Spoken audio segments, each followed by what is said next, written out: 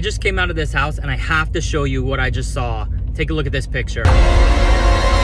Give us a call, we'll do a free water test, take a look around the house, and if water treatment's necessary, we'll let you know.